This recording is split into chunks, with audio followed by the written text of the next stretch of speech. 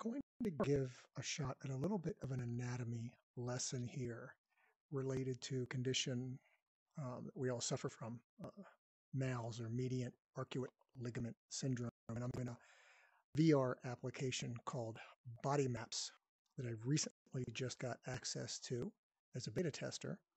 And I wanted to start playing around with it. And whenever I get into these applications, I immediately start looking for the celiac trunk and a couple of uh, other landmarks and organs that I know that you know have impacted me during my journey with this disease. And so here in front of us, all blown up, is uh, the uh, digestive system, the nervous system, and the endocrine system.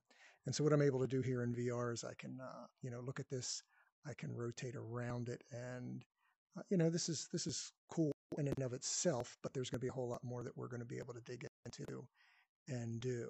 But I wanted to kind of first give a sense of how complicated this anatomy is to get to. And if you look at this line pointing into the celiac trunk, um, which is the uh, uh, focus of all of our issues here, you can see it's leading kind of through all these organs, sitting kind of right on top. This is kind of the best view you have of it um, here on top of the aorta.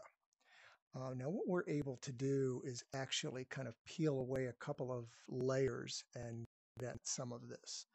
Um, and so, what I'm going to do is isolate the celiac trunk, and then you can kind of see it and some of the other organs that I've um, kept or um, isolated as part of it.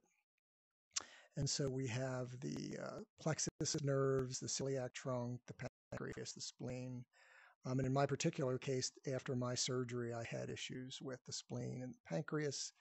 Um, and so I kind of, uh, again, get in here and, and like to play around with peeling these layers back to see, you know, uh, how complicated this all is. And so let's go here. Um, and this was the approach that I had. I had, uh, you know, the incision kind of from right under my xiphoid process down to my belly button.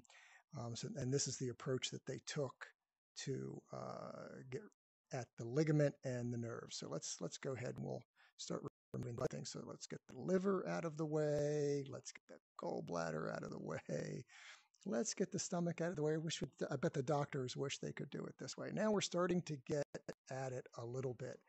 And now we can see we've got the pancreas, we've got the spleen here, and here is the celiac trunk sitting right back here off the aorta.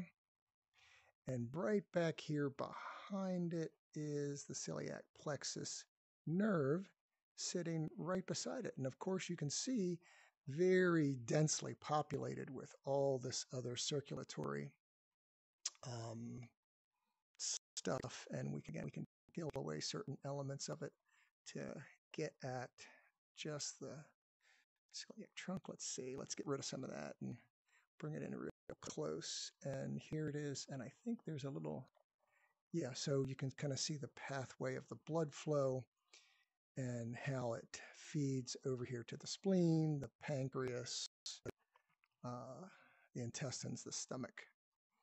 But yeah, I mean, complicated stuff.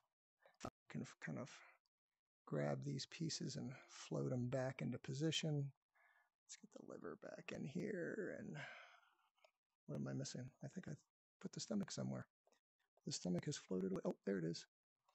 And so I don't know if that's helpful, but uh, again, it, it's something that helps me kind of visualize what's uh, going on inside my own body. And hopefully, uh, this has been maybe helpful to some.